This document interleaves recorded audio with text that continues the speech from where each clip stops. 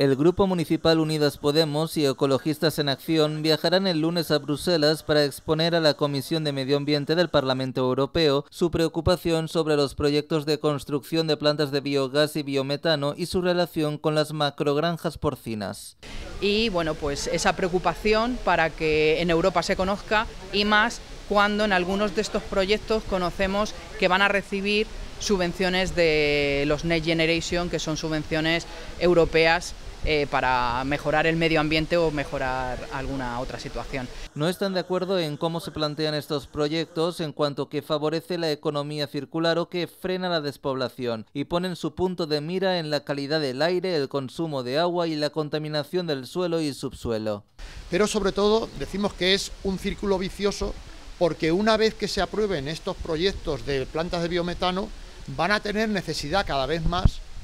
de más materia prima, es decir, más residuos, más purines, más residuos eh, ganaderos, con lo cual